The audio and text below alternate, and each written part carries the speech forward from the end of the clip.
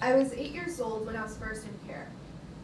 Sometime later, I was sent back home after my father was wrongly deemed a suitable parent. When I was 14 years old, after being raped and abused, I put myself in foster care system. I was seeking refuge from a life of trauma and neglect that I was experiencing at home. The foster care system did save my life. It gave me a roof over my head, a bed, and meals. Yet I never found permanency. I never found parents. I never found a home. I was presented with the opportunity to be adopted by my mentor, who happened to be lesbian. She researched the possibility of what adoption would entail, yet was discouraged because of the negative stigma surrounding the LGBT community.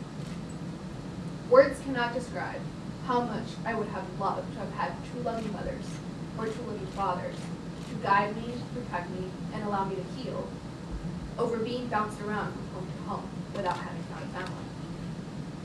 We need to encourage LGBT individuals and couples to adopt in order to provide more foster youth with permanency, a support system, a sense of belonging, a stable self-identity, to improve the outcome of their lives.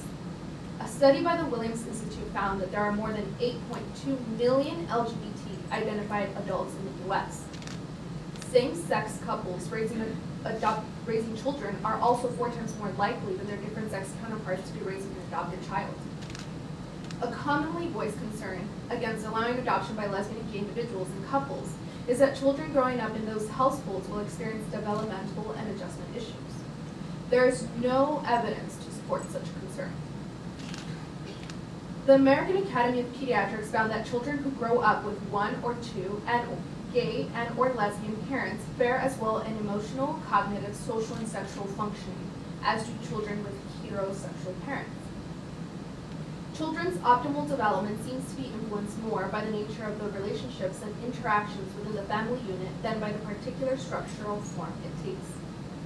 We need to prohibit any adoption or foster care agency exempting faith-based agencies that receive federal funding from discriminating against LGBT individuals and couples as adoptive or fostering parents.